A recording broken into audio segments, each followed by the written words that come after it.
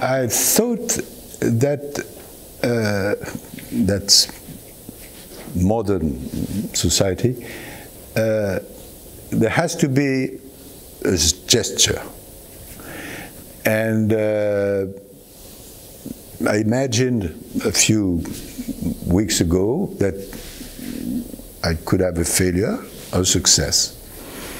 Uh, and if it was a success, how could I show in the face of the world that the success was there and how to award my fellows uh, who have worked very hard uh, with me for that success. And at that time uh, came the idea of uh, this small gavel, and uh, therefore I ordered um, a lot of them. And I kept only one for me.